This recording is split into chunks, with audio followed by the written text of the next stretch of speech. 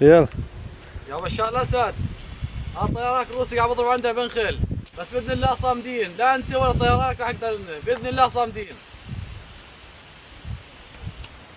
أحد حفر الطيران الروسي.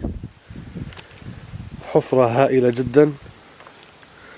سببتها الصواريخ الفراغية التي ضربت مدينة أنخل. حسبنا الله ونعم الوكيل.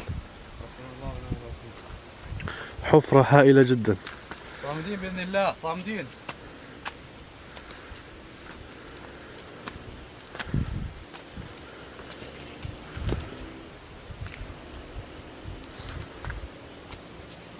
مدينة